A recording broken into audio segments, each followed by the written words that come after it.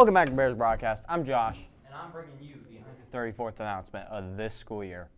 Forensics competed on Monday at Wamego. Izzy Harwood placed second in extemporaneous speech, qualifying for state. Congratulations. This Saturday, there's also regionals for solo and ensembles in Atchison. Wish the band and choir good luck. Prom flower order forms are due this Friday. Now, speaking of prom flowers, Miss Lukert's Flower Hour teaches students how to make boutonnieres and corsages. Keep an eye out and sign up for it.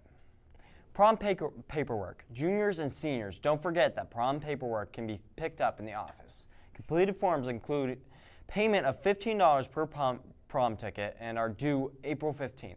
Remember, if you are bringing an outside date, they must complete both a permission slip and an outside date form.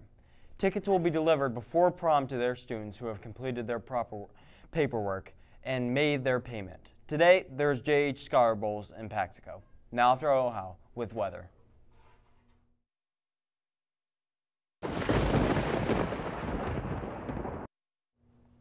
Hello, St. Mary's High School. Here's your weather for the rest of the week. Today is windy with a high of 68. Tomorrow drops down to 64 but sunny, and Friday it warms up to 73 and sunny. Back to you, Josh. As you saw on Monday, Brayden is spending our Bears broadcast money on expensive suits and traveling around the world. Lucky. Let's see where he is today.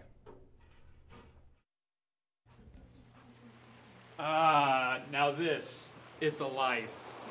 I mean, there's still sand, but there's a beautiful ocean. I think I'm gonna jump in, full suit. Then my my tailor probably does not recommend that. What does he know? He's he's a good